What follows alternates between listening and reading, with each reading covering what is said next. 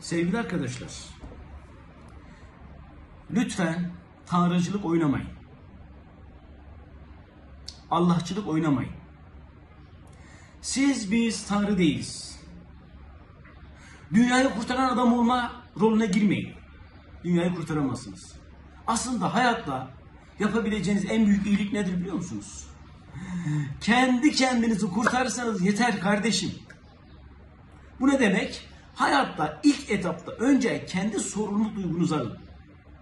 Kendi işlerinizi yapın. Kendinize odaklanın sevgili arkadaşlar.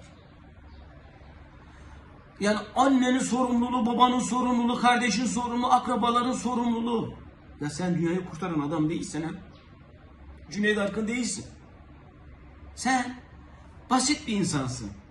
Ben basit bir insanım. Kardeşim ben sadece kendimi kurtarabilirim.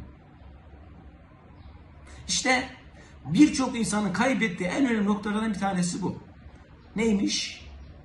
Dünyayı kurtaran adam rolüne giriyoruz. Evet 20 sene 30 sene gidiyorsunuz. Ondan sonra piliniz bitiyor kardeşim. Adım atacak haliniz kalmıyor.